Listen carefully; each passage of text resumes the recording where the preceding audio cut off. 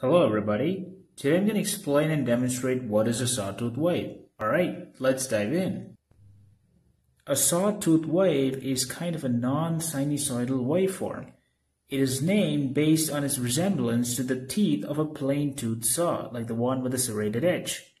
A sawtooth wave is also called as a ramp waveform because it ramps up gradually and then drops down.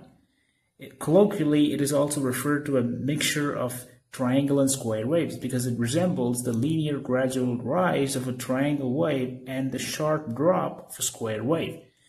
Now, sawtooth waves are rich in harmonics. They have both odd and even harmonics as opposed to square waves and triangle waves which are on, which only has odd harmonics. Now, due to the fact that it has both even and odd harmonics, it sounds much brighter than square waves and triangle waves. It'll be evident when you take a look at the frequency spectrum. Alright, there are two types of sawtooth waves. So one is a positive sawtooth wave and the other is a negative sawtooth wave. In case of a positive sawtooth wave, the wave ramps upward and then sharply drops. And then this cycle repeats on and on. In case of a negative sawtooth wave, the wave ramps downward and then sharply rises. And this cycle goes on and on. Now the most commonly used sawtooth wave is the positive sawtooth wave. Alright, the sawtooth wave is represented by the arctangent function where x is the displacement, a is the amplitude, and p is the period.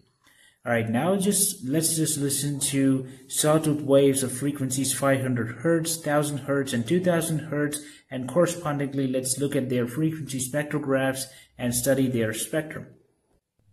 Alright, this is a positive 500 Hz sawtooth wave. Notice a large wavelength consistent with a low frequency, and this is how it sounds like.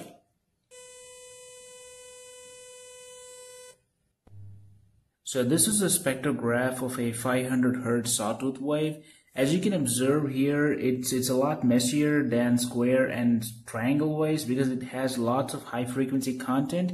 And not only that, it has all the odd and even harmonics. So the first dominant peak is 500 Hertz and the next one is 500 times 2 which is 1000 and then 500 times 3 which is 1500 and so on. So this gives sawtooth wave a rich texture like in terms of sound. So it sounds much richer than square waves, triangle waves or sine waves for that matter. This is a 1000 Hertz sawtooth wave. Notice the decrease in wavelength as the frequency is increasing and this is how it sounds like.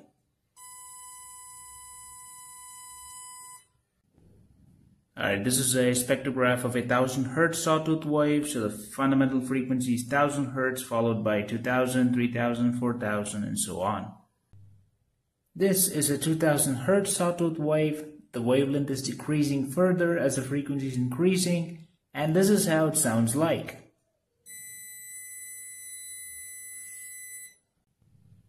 This is a spectrograph of a 2000 Hz sawtooth wave. So the fundamental frequency here is 2000 Hz and the harmonics are 4000, 6000, 8000 and so on.